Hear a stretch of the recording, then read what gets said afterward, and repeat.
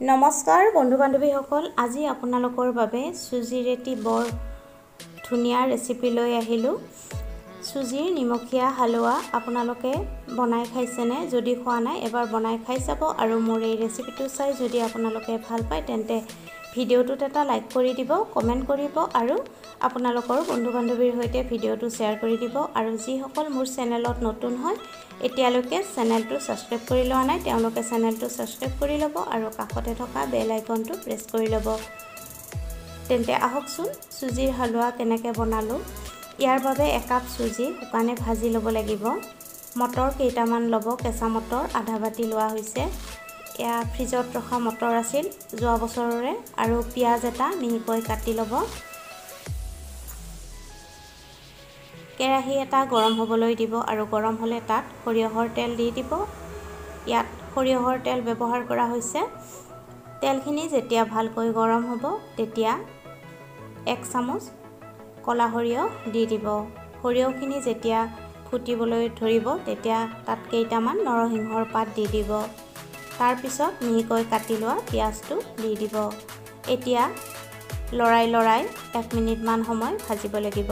এক মিনিট ভজাৰ পিছত অলপমান নিমখ দি দিব আৰু একেলগতে হালধি গুড়ি অলপমান দি দিব। তাৰপিছত পুনৰ আধা মিনিটমান সময় ভাজি ল'ব। তাৰপিছত মটৰখিনি দি দিব লাগিব।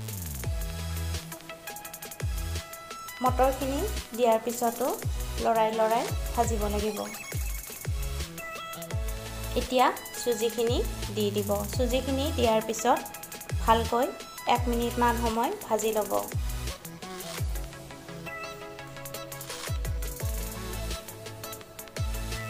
এক মিনিট ভজাৰ পিছত তাত একাপ পানী দি দিব আৰু ভালকৈ মিহলাই ল'ব চুজিখিনি।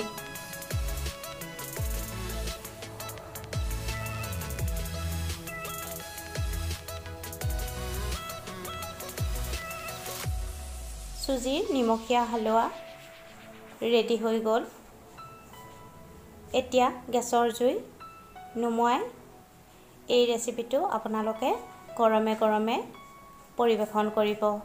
মোৰ এই চুজিৰ নিমখীয়া হালোৱাৰ ৰেচিপিটো চাই যদি আপোনালোকে ভাল পালে তেন্তে ভিডিঅ'টোত এটা লাইক কৰি দিব কমেণ্ট কৰিব আৰু আপোনালোকৰ বন্ধু বান্ধৱীৰ সৈতে ভিডিঅ'টো শ্বেয়াৰ কৰিব। আৰু যিসকলে এতিয়ালৈকে মোৰ চেনেলটো ছাবস্ক্ৰাইব কৰি লোৱা নাই তেওঁলোকে চেনেলটো ছাবস্ক্ৰাইব কৰি ল'ব আৰু কাষতে থকা বেল আইকনটো প্ৰেছ কৰি ল'ব। পুনৰ এটি নতুন ৰেচিপিৰ সৈতে আপোনালোকৰ ওচৰত উপস্থিত হ'ম। আজিলৈকে আহিছোঁ। ধন্যবাদ।